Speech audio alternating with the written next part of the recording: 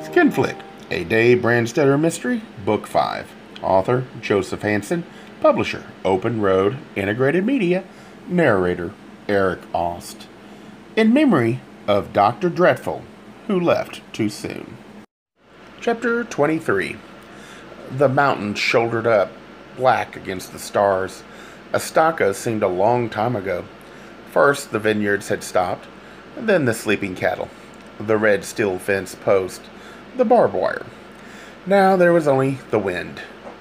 There was only the worn strip of blacktop, only the little car hustling along it, whipped by the wind, chasing its pitiful outstretched lights. And there was only him. It was big country. It was a big, empty night. He wondered if he'd understood Sims, if Sims had made a mistake. The martinis were putting him to sleep. The drone of the engine, the sameness of the rise and fall of the rock strewn, parched grass foothills. He switched on the radio. Gospel music twanged at him. He switched off the radio. He checked his watch and was surprised it wasn't yet eight. He looked up, and the headlights showed him a tin mailbox on a steel stack. Tackleberry. He pressed the brakes. But he'd been traveling fast, and the Triumph went on by. He fought the unfamiliar shift knob, got the car into reverse, backed up to the mailbox. A little dirt trail cut off toward the mountains. He swung the Triumph onto it. It ran flat for a while, then started to climb. Chaparral and tumbles of rocks showed themselves in the headlights. When the track took twist, dead windfall branches littered the ground and old live oaks. The road grew steeper. He shifted gears. The headlights shone at the sky. Then they tilted downward sharply, and out there below in the massive darkness a tiny light showed. He stopped the car, dry brush scraping its sides, switched off the headlights, got out, and stood to let his eyes get used to the night. Wind blew his hair into them. He pushed it back. The light came from a window. Maybe he made out the shape of a house. It was so far off it was like a toy left by some lost child. He wished they were immune, but even without its lights, the car would warn them he was coming. It was noisy, noisier even than the wind, where the wind had only scrub and rock to sound itself on. He got back into the Triumph, switched on the headlights again, and drove. This is a mistake, he thought. Three old oaks sheltered the tin house. A tin porch ran along one side. On the other side, a lean to roofed by stiff, rippled plastic, put in shadow, a tractor and big, sharp edged shapes. He couldn't name. He walked around the house in the wind. A generator hummed inside a corrugated iron pump's shack. There was no truck. That made him feel easier. He stepped up on the porch and banged the door. Just the wind. In the oaks, and making the noise creak along its riveted seams. He banged again. Nothing. He tried the knob. The door was locked. The windows showed him blackness. He shouted, Hello? Anybody there? The wind took his voice out into the dark and lost it. He stepped off the porch and walked around to the lighted window. It was set high and the glass was opaque. Under the lean to, he found an empty fuel drum and rolled it through the weeds until it stood under the window. He climbed up on it and tried to push the aluminum clinched panel along in its aluminum groove. It wouldn't budge. He jumped down off the fuel drum and thought he heard a sound, but the wind was rattling the thick plastic roofing of the lean to, and he couldn't be sure. He stood very still and strained his ears. There it was again. A cat. The sound was thin and plaintive. A hurt cat. Then the wind lit up for a second, and he heard the sound right and knew that it was human. It came from inside. Uh, help, please! Help me! Hold on, he called and jumped up on the porch again. But this time, the little blade from his key case was no use. It worked the lock and the brass plated knob all right, but there was another keyhole in the door, and nothing he had would even slide into it. When the wind lit him, he kept hearing her crying and begging. He went back to the fuel drum, climbed up on it, rapped the glass. I can't get in the door, he said. Open the window. It slid back. He was looking into a very small bathroom, toilet, shower stall, wash basin, mirror. She stood with her back against the door, staring at him, eyes large with fear. Her head was shaved. She was in dirty jeans and a dirty sweatshirt. He wondered only for a second, scared as she looked, why she didn't run. She was chained by the ankles. The ankles were thin and the skin on them was rubbed raw. When he started to climb in, she began to scream. He made a clumsy job of getting through the opening. He damn near fell on his head, and all the time, she stood against the door and screamed. He twisted the cold tap handle of the wash basin, filled his hands with water, and threw it in her face. She stopped screaming. For a few seconds, she held her breath. Then she began to make the sick cat noise, a whimpering, keening sound. He knelt at her feet. What clamped her ankles were handcuffs from a dime store play detective kit. The chain attached were for holding dogs. They ran under the little veneered doors of the vanity that held the wash basin. He pulled open the doors. The chains were padlocked to the faucet pipes. He used the blade from the key case to unlock the handcuffs. He stood and pushed aside with his foot the chains and cuffs. He reached past her for the doorknob. She cringed away from him, both hands covering her mouth. He turned the knob, but the door wouldn't open. He puts an iron pipe across it, she said. I have to stay in here all the time he's gone. Uh, Billy Jim, Dave said. Where is he? Off with the truck, working someplace. Uh, don't, I don't too much care. When he's here, all he, he does is read the Bible at me and pray at me, she said on the closed toilet fixture and rubbed her ankles, wincing. Oh, that scares me. He could just forget me and never come back, and I'd die in here, or, or there could be a brush fire. It's dry and all this wind all the time. I'd shrivel up like bacon. The wind made it hard to hear. The sheet metal the place was built out of hummed. Dave said, What right has he got to preach at you? You didn't break any necks. You didn't shoot anybody. She looked up quickly. Who, who are you? Dave wet a washcloth in the basin and gently wiped the tears from her dirty face. He knelt and washed the sore ankles. She said, You came from L.A., didn't you? You're a policeman? Uh, Gerald Dawson's insurance man, Dave said. I've been hunting you for days. I almost thought you were dead. I've been wishing I was dead, she said.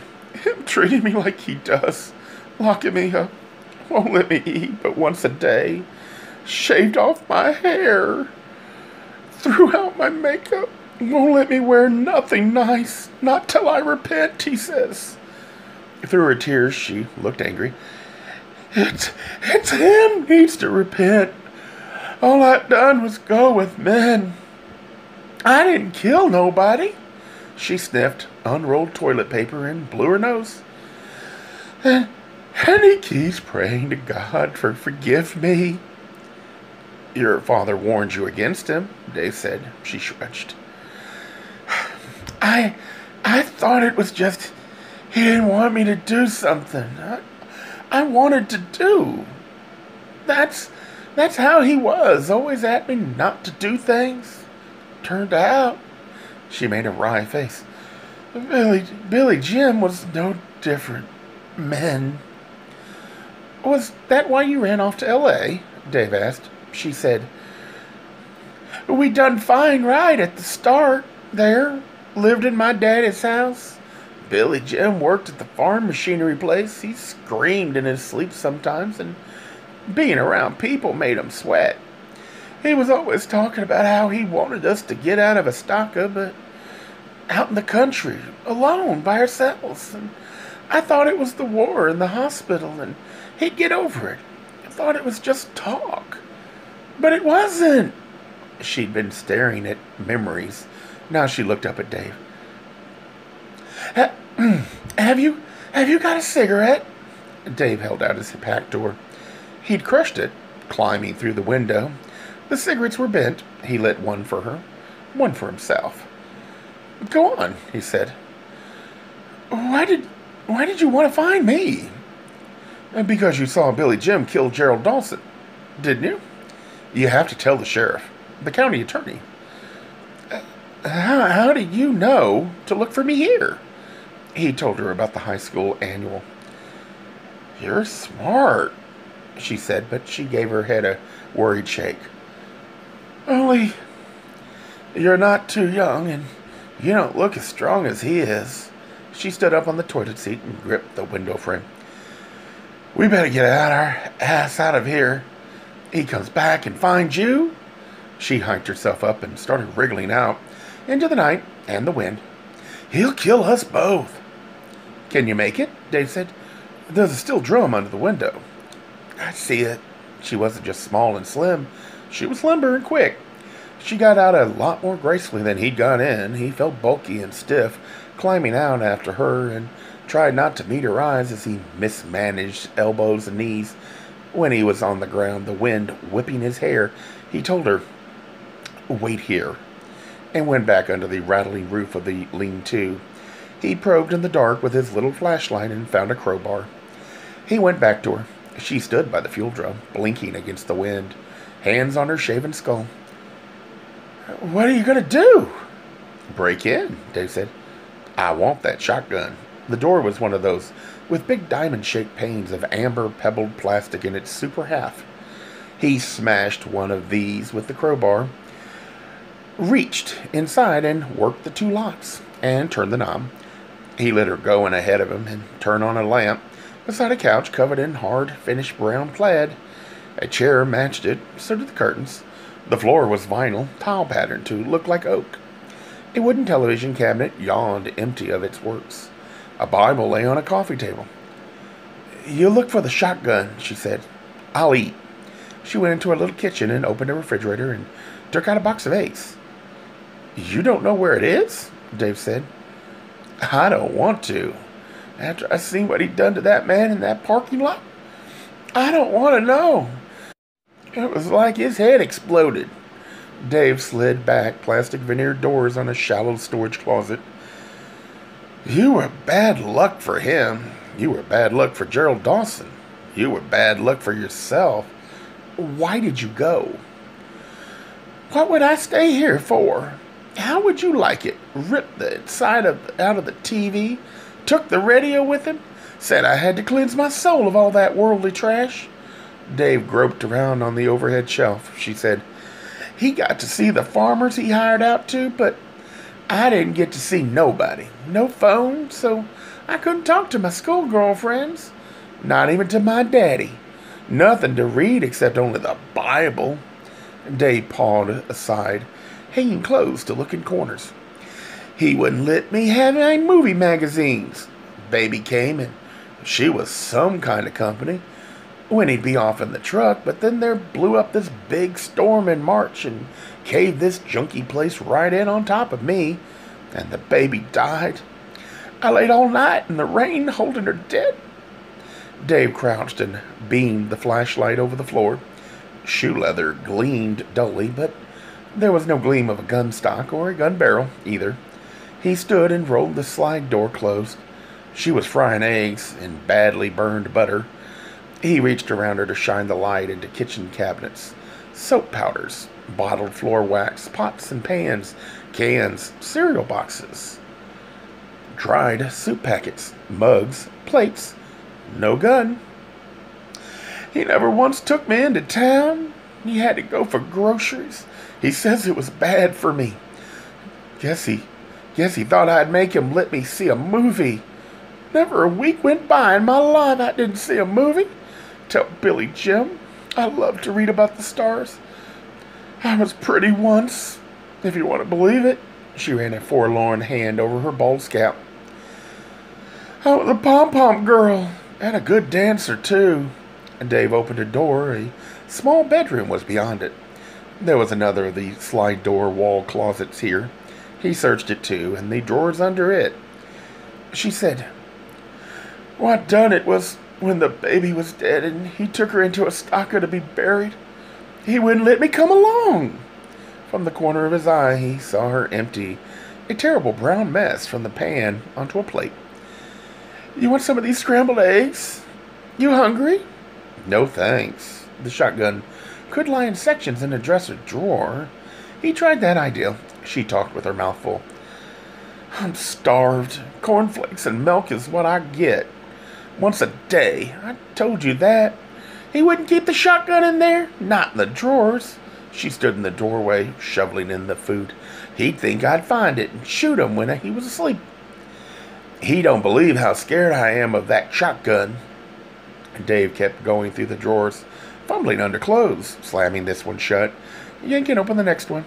He was sweating. He was doing this wrong. Everything about it he'd done wrong. It was stupid to come here alone. He'd been lucky Billy Jim wasn't here when he drove up. She was right. He'd killed them both. Delgado had a gun. If he hadn't been bright enough to bring Delgado, he should have brought Delgado's gun. He shut the last drawer. So I packed a suitcase and I, I took all the money in the drawer and got out on the road and put out my thumb. And in Fresno, I caught a greyhound. He never hid money from me. Why would he? No place for me to spend it. Not way out here. But it wasn't much. I didn't care. I thought I'd get on television right away. Dave stood on the bed and pushed a trap door in the ceiling.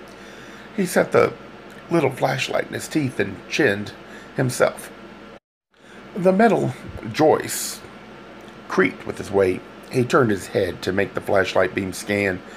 Dust was all there was. He dropped back onto the bed. The wind kept the house humming. It was like being inside a drum. He wished it would lit up. He wouldn't hear the truck if it came. He pushed past her. He'd seen another trap door in the front room ceiling. She said, I didn't know how hard it would be. I didn't know much, but some girl I met says you could meet all kinds of show business people on the strip. You know where that is?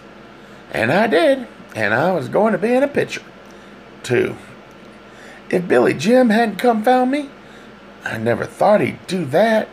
He hated the city, any city, scared him to death. Dave chinned himself from the coffee table this time. But the little light didn't show him anything. He dropped. I know most of the story, he told her. What I want to hear from you is how he killed Gerald Dawson. I had this apartment. She laid the plate in the sink and opened the refrigerator again and brought out a milk carton. From it, she filled a glass. Real beautiful. I saw it, Dave said. Charlene, we can't stay here any longer. If that shotgun isn't here, then he's got it with him. And that could be very bad news. Carrying the glass of milk, she went out the front door and stood on the long tin porch. If he was coming, I'd see him. A long way, clear to the top of the ridge. She stepped back inside. You want the shotgun so you can take him back, too. Is that right? To keep him off you with his hands? To keep him from doing to you what he did to Jerry? Where did it happen? In the bed? In the kitchen. She went back on the porch. Took hold of him, twisted his head somehow. You could hear the snap, and he was dead. I tried to run out of there. The wind was too loud for him to hear the next sentence. Way he was hitting me, I thought he'd kill me too. I kicked him and ran out on the balcony, but I was dizzy and my legs wouldn't hold me, and he yanked me back inside. Dave threw the cushions off the sofa. He groped inside for the mechanism that let it open into a bed. He found it, moved it. Sheets, blankets, two pillows, no shotgun. He looked around. I went to the apartment. The sheriff's men went through there. There was no sign of his having been murdered there. There should have been a mess. There was, she said. I didn't know that happened to dead people. Billy Jim made me clean it up. It made me sick to my stomach. I kept having to run to the bathroom and throw up. Dave went out past her. He stepped down off the porch, crouched, shone the little light under the porch. She said, But Billy, Jim kept after me, made me mop it twice and clean up all the signs where I washed the mop out. You know, when he says, Now wax it, and I laid wax on it while he was wrapping Jerry in a tarp from the truck and pulling and hauling his body out the kitchen window. Then I had to help him get it up the hill to the truck. He cut a hole in the fence so we could get it through to the street up above there. She said, I don't know why. It's not cold, but I'm cold. I have to get a sweater. There was nothing under the porch. Dave looked toward the dark ridge between this scoop of Night Valley and the highway. He went in after her. She wasn't getting a sweater. She was in the bathroom. She'd taken down the pipe that crossed the door and barred it when it hung in the bright brackets. Billy Jim had screwed into the frame. What are you doing? Dave said. I want to look nice, she said, water splashed. Dear God, Dave said. Charlene, come on. There's no more time. I'm coming, she snapped. Just wait a minute. Why did he kill Dawson? For corrupting me, she said through the door. He warned him first Sunday morning at the church. Jerry says get lost. So then the next day he phoned Mrs. Dawson what was going on with Jerry and me and for her to come get her husband. I didn't know that till afterwards. Didn't know he was hid in my closet when they come. Her and the preacher and Bucky Boy. He was in there before Jerry and me got there. Must have killed him hearing me and Jerry in bed. Something happened to her dictation. She was brushing her teeth and talking with brush in her mouth. My heart like to stopped when he jumped out of that closet after Bucky Boy left. I didn't know him for a minute. He shaved off his beard. Yes. Uh, why did he do that? Dave asked. To fool that old nigger man, guard, she said. Dave tried the door, locked. Charlene, you're wasting time. We have to get out of here. Just one more minute, she said, and water ran hard. Why did Billy Jim stop at only two men? What about Fulbright? Wasn't he the one who started this whole thing? Billy Jim never let me get to telling him about Jack, and when I seen what he'd done to Jerry and Mr. Odom, I wasn't about to tell him. That fancy boat marijuana cocaine, him taking them dirty pictures of me, he'd want to kill Jack Fulbright twice. I was so scared that night, I, I almost. She screamed, and it wasn't about memories, it was about now. Glass shattered. A male voice spoke words. Dave couldn't make out. There was a heavier crash. He recognized that one. The top of the toilet tank. Billy Jim was dragging her out through the window. Dave ran across the meager living room and out at the door with the broken pane. The big, blocky pickup truck stood 20 steps off, engine rumbling, headlights dark, of course. Billy Jim had seen the house lit up, seen the Triumph in the yard, knew something was wrong.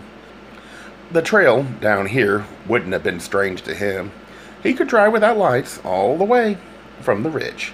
He appeared under his cowboy hat from around the corner of the wind rattling house, dragging the kicking, screaming, stick thin little girl toward the truck.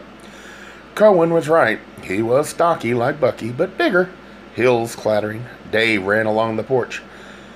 You're not too young, she said, again inside his mind, and he launched himself at Billy Jim Tackerberry. Not bad for an old man. He got both legs just at the knees. The knees buckled, all three of them, rolled in the dust. But Dave couldn't hold on. Tackerberry got a leg free and kicked Dave in the head. Hard. Dave didn't see anything or hear anything. Then he heard a gonging sound. Something had banged the body of the truck. He heard grunts, squeaky cries. His head hurt. He groaned and moved. He got to his hands and knees and collapsed again. The truck door slammed. The big engine roared. Dave staggered to his feet. The truck came at him. He threw himself out of its way, tumbling among crackling brush. The truck hit the porch. A metal prop gave the roof sagged with a shriek. The metal flooring buckled. The truck rocked. Its big gears clashed and ground together. The truck shot backward. The wide tires grabbed at the dirt. Dust kicked up and the wind ripped it away. Dave scrambled for the house, stumbling, falling on his feet again. The truck skidded in a half circle and chopped to a halt. Dave turned in the doorway. Light from the truck's instrument panel glinted along a shotgun barrel. Dave fell down, arms over his head. The explosion was big and bright. His sleeves shredded, his arms felt as if he'd stuck them into fire. The truck roared off. A Gay Mysteries audiobooks. I think it is easy to hate a label, but a face humanizes the word. So this effort is twofold to offer comfort to those like myself that your world didn't end because you don't fit into the view of acceptable society on both sides. And in hopes of helping those with family that are LGBTQ, that it doesn't mean we are aliens from the child they once knew. Reassure them so they can maybe be supportive at the same time, being true to their values.